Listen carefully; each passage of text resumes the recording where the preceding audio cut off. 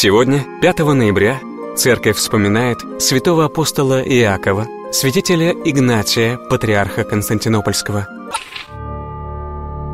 Апостол Иаков, один из 70 учеников Христа, по преданию был родственником праведного Иосифа, того самого, что был обручен с Девой Марией, принял ее в свой дом и оберегал Богородицу и младенца Иисуса.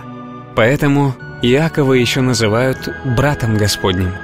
С детских лет Иаков стремился посвятить себя Богу. Согласно преданию, Иисус Христос явился Иакову после своего воскресения и поставил его епископом Иерусалимской церкви. 30 лет он в самом сердце Святой Земли проповедовал учение о спасении и крестил уверовавших. По преданию, этим были недовольны иудейские первосвященники, которые возвели Иакова на крышу храма и стали склонять его к отречению. Святой апостол, напротив, стал громко кричать о том, что Христос и есть истинный Мессия. Тогда праведника столкнули вниз. По преданию, умирая, он продолжал молиться за врагов. В Новый Завет вошло послание апостола Иакова, в котором так говорится о вере. «Ты веруешь, что Бог един? Хорошо делаешь. И бесы веруют и трепещут». Но хочешь ли знать, неосновательный человек, что вера без дел мертва? Ибо как тело без духа мертво, так и вера без дел мертва. Церковь прославляет труды ученика Христова и молится святому апостолу Иакову. Моли Бога о нас.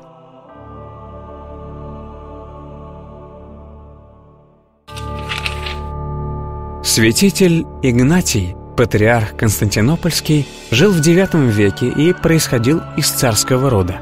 Его отца, императора Михаила I, свергнули с престола, а 15-летнего Игнатия заключили в монастырь.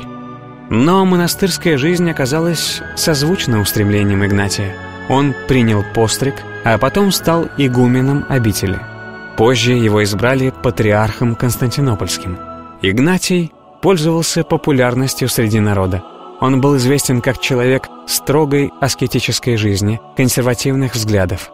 За обличение порочных нравов и обычаев регента Варды, дяди малолетнего императора Михаила III, Игнатия отправили в ссылку. В это время константинопольским патриархом становится Фотий, придерживавшийся более либеральных взглядов, отдающий должное науке и образованию. Через 10 лет партия заговорщиков свергла императора. Игнатий был возвращен на патриарший престол, а Фотий отправился в изгнание. Через несколько лет император Василий вернул Фотия ко двору и сделал его воспитателем царских детей. Патриарх Игнатий, узнав поближе своего бывшего соперника, тесно сошелся с ним и, умирая, завещал ему патриаршую кафедру. В знаменитом соборе Святой Софии в Константинополе среди немногих уцелевших мозаик сохранилось и изображение святителя Игнатия. За строками жития мы видим не только незаурядного проповедника и лидера.